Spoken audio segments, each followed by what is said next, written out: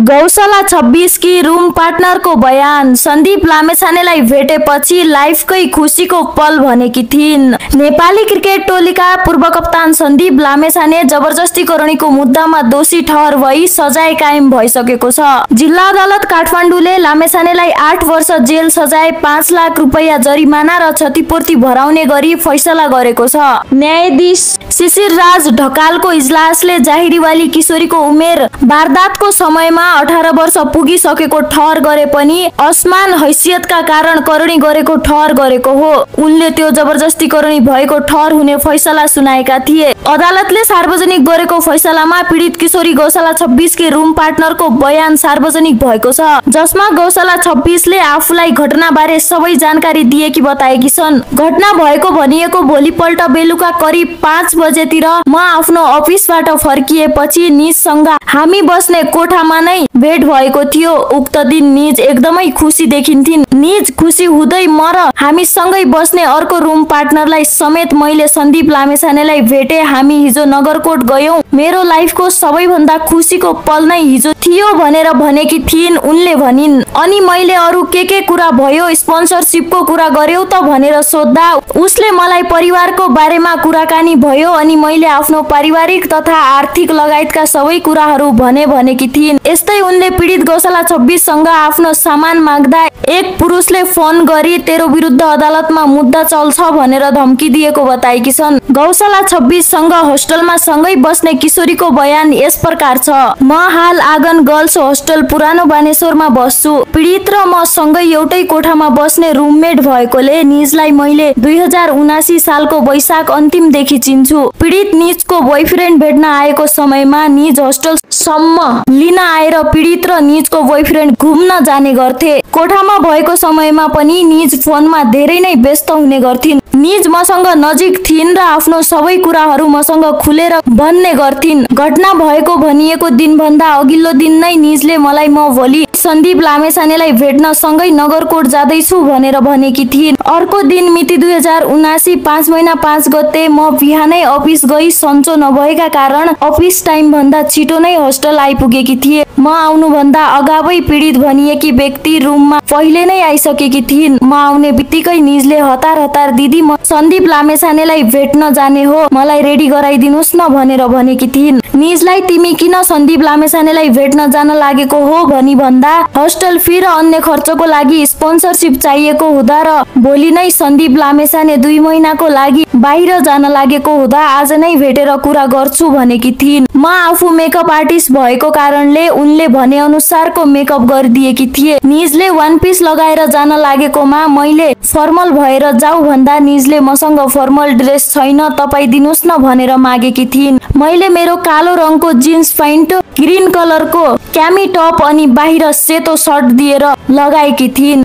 मैले निजलाई उक्त दिन लगाउन दिएको कपडाहरू मैले आज अदालतमा आउँदा सँगै लिएर आएकी छु। कपडाहरू मसँग सुरक्षित नै छ। मैले सन्दीप लामेछानेलाई मेरो उमेर बिस वर्ष भनेकी छु।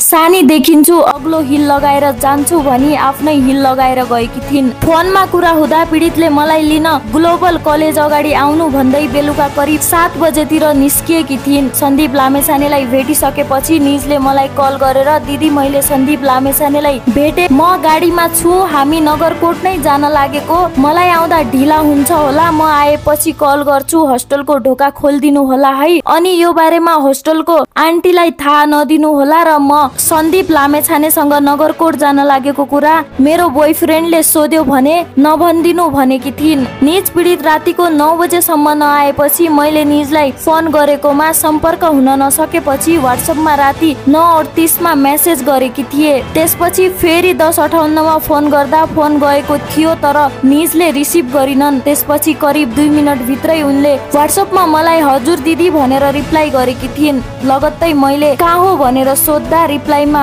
म एउटा साथीको घरमा छु आज यतै बस्छु म सेफ छु भनेर भनेकी थिइन्। मैले त्यसको रिप्लाईमा ठिकै छ आफ्नो केयर गर भनेर रिप्लाई दिएकी थिए। त्यसपछि पुनः निज पीडितले मेरो बोयफ्रेन्ड बोयफ्रेन्डले कल गर्यो हजुरलाई भनेर मलाई मेसेज गरेकी थिइन्।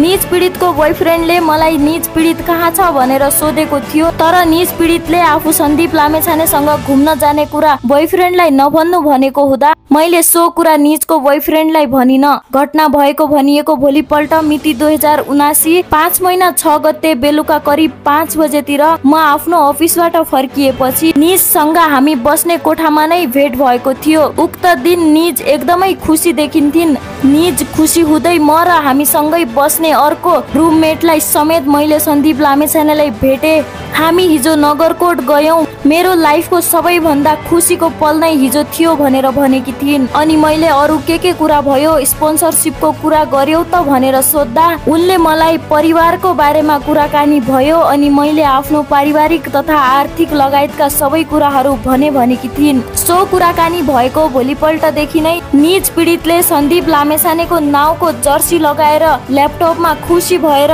हुडिङ गर्दै क्रिकेट हेरेर बस्ने गर्थिन्। सोबाट हामी सँगै रुममा बस्ने अन्य साथीहरूलाई समेत डिस्टर्ब भएको कारणले निजलाई हल्ला नगर इयरफोन लगाएर क्रिकेट हेर भनेर भनेको हुँदा त्यसपछि निजले हाम्रो कोठा बाहिर लिभिङ रुममा सोफामा बसेर क्रिकेट लगातार हेर्ने गर्थिन्। निज त्यति धेरै खुसी भएको त्यो भन्दा पहिला कहिले देखेका थिएनौ। त्यो बिचमा निजको बोयफ्रेन्डसँग पनि निजको भेटघाट हुन्थ्यो। मिति दुई हजार उनासी पाँच महिना चौध गते तिससम्म निज एकदमै खुसी थिइन्। उक्त चौध गते बेलुका मलाई निजले म भोलि पोखरा जानु पर्ने भयो तपाईँसँग पैसा छ भने मलाई दिनुहोस् न भनेर भनेकी थिइन्। मैले किन एक्कासी पोखरा जान लाग्यो भनेर सोद्धा मम्मी बाबाको मुद्दामा मम्मीको साँच्ची म बस्न जान लागेको हो? मेरो दाईको पारा तपाईँलाई थाहा नै छ।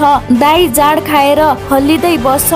घरको कसैको पनि वास्ता छैन भनेकी थिइन्। निजको दाईले पहिला पनि बारम्बार निज होस्टेलमा बस्दा फोन गरेर गरेर मलाई पैसा पठाइदे। कि तेरो मम्मीलाई भन्दै भनेर फोन मार्फत दबाब दिइरहेको कुरा निजले रुदै मलाई सुनाएकी थिइन्। त्यसको भोलिपल्ट बिहानै निज पीडित पोखरा जानको लागि उठिन्। म पनि अफिस जानको लागि बिहानै उठेर निज कोठाबाट निस्किनु अगाडि मैले निजलाई पैसा दिए। निजले पोखरा जाने बेलामा हामी सँगै बस्ने अर्को रुममेटको कपडा निजलाई नसोधी लगाएर गएको कुरा मैले मेरो अर्को रुममेटले भनेपछि थाहा पाएकी हुँ। त्यसपछि निज दुई हजार उनासी पाँच अठार गते पोखराबाट फर्किएर बेलुका होस्टेलमा आइपुगिन्।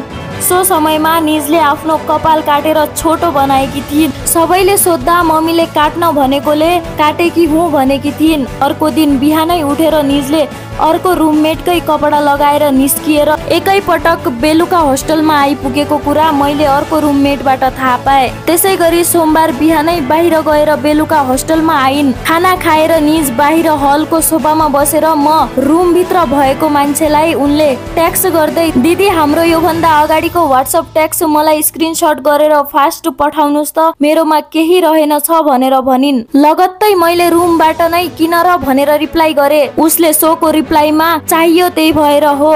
तपाईँले डिलिट गर्नु भएको छ र भनेर सोधेकी थिइन्। त्यसपछि मैले मेसेज किन चाहियो र धेरै छैन मसँग भन्दा उनले रिप्लाईमा चाहिएको भएर मागेको हुँ दिनुहोस् न भन्दा मैले मेरोबाट डिलिट भएको रहेछ भनेर रिप्लाई गरे तर मैले त्यो भन्दा पहिलाको मेसेजहरू डिलिट गरेकी थिइन। सो मेसेजहरू हालसम्म पनि मसँग सुरक्षित नै छ।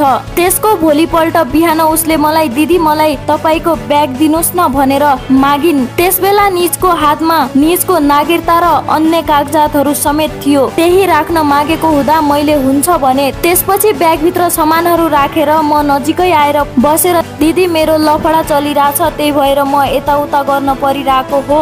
त्यही भएर पनि कलेज छुटिरहेछ भनेर मलाई भनिन्। त्यतिकैमा उसको मोबाइलमा कसैको कल आयो। सोही फोनमा कुरा गर्दै गर्दा निज आफैले यो मुद्दा हालेपछि यत्तिकै नै दस पन्ध्र लाख पैसा आइहाल्छ अनि मलाई ढुक्क हुन्छ भनेर भनिरहेकी थिइन्। सो फोन गर्ने व्यक्ति को थियो मलाई थाहा छैन। कुरा गर्दै गर्दा कुरा मैले सुने। त्यतिकैमा निजसँग मैले कुरा गर्न खोजेको थिएँ तर निज हतार हतारमा झोला बोकेर फोनमा कुरा गर्दै बाहिर निस्किन्। निजले मेरो लुगा लगाएर ब्याग लिएर सँगै पैसा सापटी लगेर होस्टेलबाट निस्किएको र मेरो रुममेटको लुगा पनि लिएर गएको हुँदा र मैले निजको बोयफ्रेन्डलाई ट्याक्स गरेर निज कहाँ छ हाम्रो लुगा र पैसा फिर्ता माग्दा निजको बोयफ्रेन्डले ड्याङ्गो भएर दिदीकोमा छ दिदीको नम्बर पठाइदिन्छु कुरा गर भनेको थियो। त्यसपछि दिदीको नम्बरमा कल गर्दा लुगा अहिले फिर्ता गर्न मिल्दैन केही समयपछि फिर्ता हुन्छ भन्दा मैले हामीलाई मैले हामीलाई हाम्रो लुगा र ब्याग एक हप्ताभित्र जसरी पनि चाहिन्छ भन्दा